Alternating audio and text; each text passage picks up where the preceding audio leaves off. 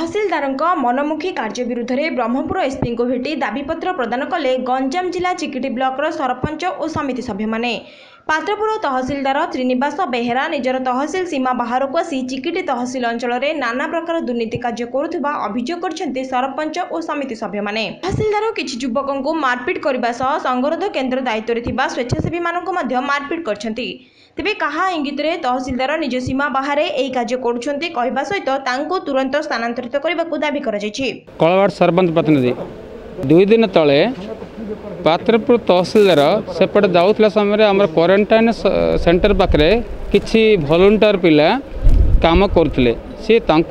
देखिक विभिन्न प्रकार गाड़ी गोलज करी तार ड्राइवर आ तहसिलदार निजे ठेगा काड़ी से गोड़े गले जोद्वे कि पिला हईराण हरकत की धाइले तार कि दिन पूर्वर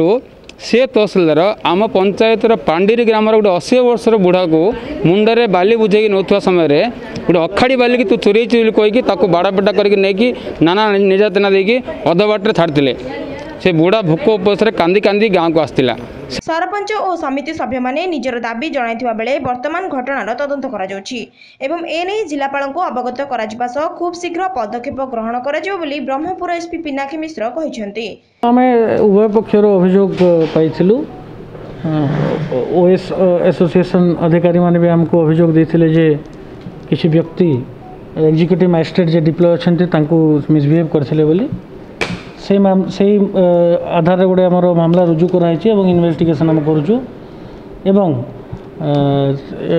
ପାତ୍ରପୁର ତହସିଲର ସରପଞ୍ଚ ଏବଂ ଅଦର ଅନ୍ୟାନ୍ୟ ପି ଆର୍ ଆଇ ମେମ୍ବର ମଧ୍ୟ ଆସିକିରି ଆମକୁ ଅଭିଯୋଗ ଦେଇଥିଲେ ଯେ ତାଙ୍କୁ ସେ ଜନିକ ଅଧିକାରୀ ମିସ୍ବିହେଭ୍ କରିଛନ୍ତି ଦୁଇଟି ଅଭିଯୋଗ ଆମେ ଗ୍ରହଣ କରିଛୁ ଆମେ ଜିଲ୍ଲାପାଳକୁ ଅବଗତ କରାଇଦେବୁ ଏବଂ ଜିଲ୍ଲାପାଳ ଯାହା ନିଷ୍ପତ୍ତି ନେବେ ବ୍ରହ୍ମପୁରରୁ ସ୍ୱାଧୀନ ସାହୁଙ୍କ ରିପୋର୍ଟ ଭାଗ୍ୟପ୍ରଭା ନ୍ୟୁଜ୍